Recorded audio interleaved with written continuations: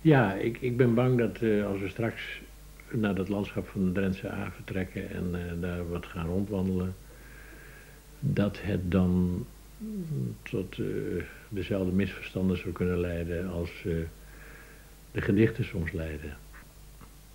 Het is beslist niet mijn bedoeling om ja, die landschappen ten tonele te voeren om weg te drogen in, in weemoed en uh, verdriet om verloren tijd of iets dergelijks.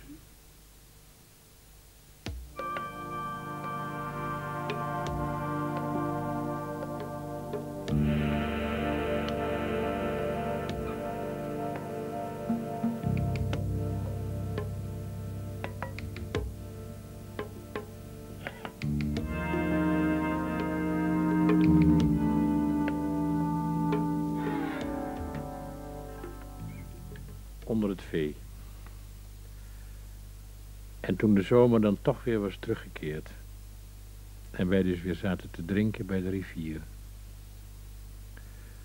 Zijn oude armen bewogen nog naar daar, die wereld, dat langzame eeuwige leven van vee in de verte. Ieder mens zou een dier moeten zijn, moeten sterven in de herfst en in de lente weer worden geboren of ieder mens zou een rivier moeten zijn. Komen zonder verlangen te blijven. Gaan zonder heimwee. Zo zaten we dus weer te drinken daar. Tegen de tijd. Oude verhalen, jenever. Maar de zon ging wel onder. En hij sliep in. Omdat de wereld insliep. Zwart zat hij bij de rivier. Een zwart gat in het uitzicht. We staan hier bij de Drentse A. Wat is de betekenis van deze rivier voor u? Dat is niet helemaal goed uh, precies te zeggen. Maar ik denk dat het te maken heeft met uh, mijn vroege jeugd. Met het landschap waarin ik grootgebracht ben. En uh, waarschijnlijk ook met die uh, beroemde psalm... waarin gesproken wordt over de rustige wateren en de grazige weiden. Die psalm heeft me tot op de dag van vandaag... Uh, ja, wat zou ik zeggen... geïnspireerd of... In ieder geval, ik ben er nog steeds van onder de indruk meer in het algemeen denk ik dat het uh, wat mij bezighoudt in mijn gedichten ook de, de kwestie is van uh, uh, werkelijkheid versus datgene wat wij ervan maken. Dus we hebben altijd, we kijken met onze eigen ogen naar die werkelijkheid. Wat we zien wordt door onszelf bepaald. En de echte werkelijkheid tussen aanhalingstekens, zoals die er is tussen aanhalingstekens, die krijgen we niet te zien. En het is uh, ja, die spanning, zou je kunnen zeggen, tussen ja, datgene wat wij ervan maken en datgene wat er uh, werkelijk uh, is, die me bezighoudt. Alsof ik graag wil weten hoe het eruit zou zien wanneer ik keek met ogen die niet de mijne zijn, maar met, laten we zeggen, een algemeen oog. Met, uh, met het oog van een, van een lens, of met het oog van een camera, of met het oog van van een absoluut objectieve registratie.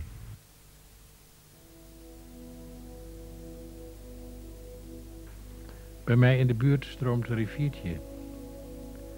Mooi, hè? Dat is de Drentse A. Het is niet om het gevoel van mooi dat ik over de Drentse A ga spreken. Het gaat mij om het gevoel en de gedachte, zo is het. Ik zit aan de rivier en zie de lijnen van de oevers. Die lijnen horen te zijn zoals ze zijn. Ze zouden ook anders kunnen zijn, dat begrijp ik wel, maar dat zijn ze niet. Het is alsof uit die miljarden mogelijkheden die ene gekozen is die het moest zijn. Alsof het de bedoeling is. Ik zie het water. En of het stil is en zwart, of rimpelt en glinstert, het zou als het ware niet beter kunnen. Uh, dat is een van de dingen die ik ben blijven zeggen. Dat onze dromen uh, uh, altijd zullen moeten wijken voor de feiten. Dat waar je mee bent grootgebracht, aanvankelijk met de veiligheid en met de beschermdheid en met de vredigheid van deze wereld, dat die dromen bedrog zijn. En dat um, is, denk ik, in het verdriet daarom, of de rouw daarom, of uh, het protest daartegen, uh, is in, in veel van mijn gedichten terug te vinden. Dat is, uh, denk ik, um, een kern van wat mij bezighoudt. En daar van heb ik het gevoel dat, ja, het verlangen naar vroeger, het verlangen naar het verloren paradijs, um, misschien vaak sterker doordringt bij lezers dan het afscheid van dat verlangen en het aanvaarden van uh, het uh, vruchteloze van dat verlangen. En een ander misverstand is dat men zo'n soort van afscheid of zo'n soort van ja, uh, verlies,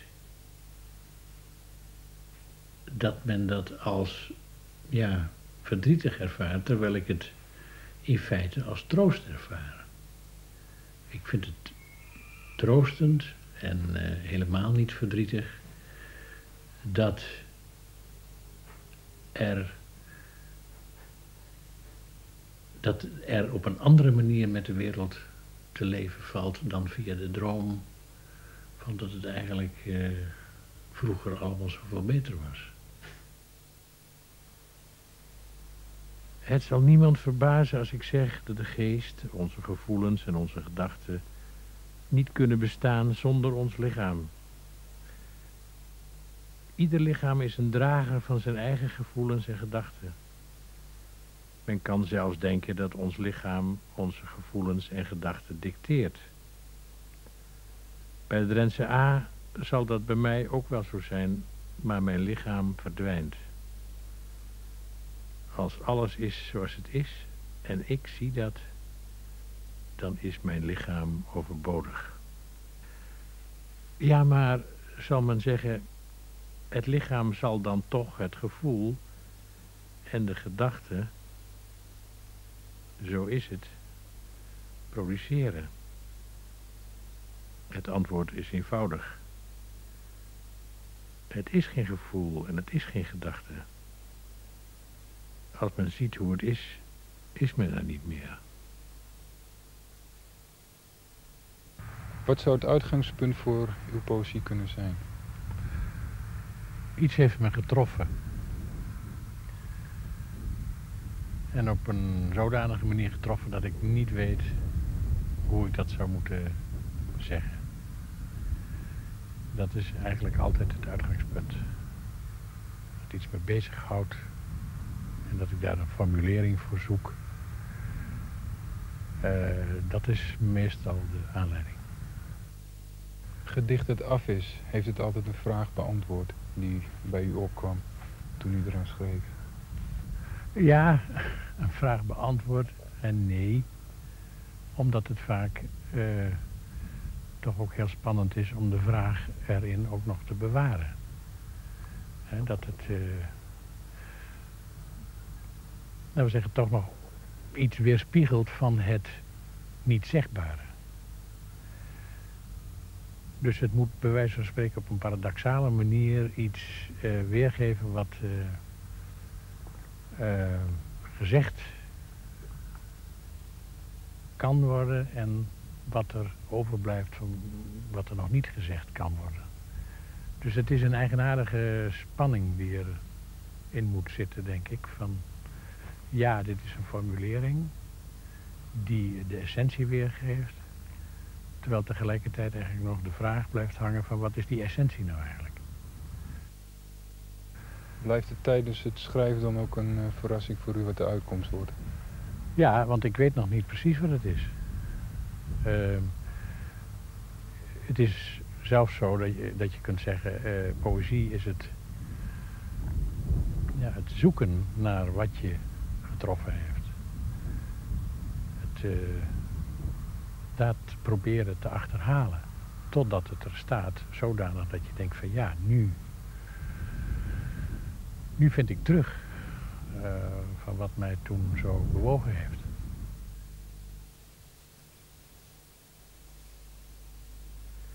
Als men ziet hoe het is, is men er niet meer. Dat wordt het beste duidelijk bij een foto of een dia waarop geen mensen staan. Het feit dat die foto genomen werd door iemand, dat dit landschap niet verlaten was, dat het geobserveerd werd, is bij het zien van een foto totaal vergeten. Het is of een toestel dit zag, dat daar ergens in de ruimte zweefde.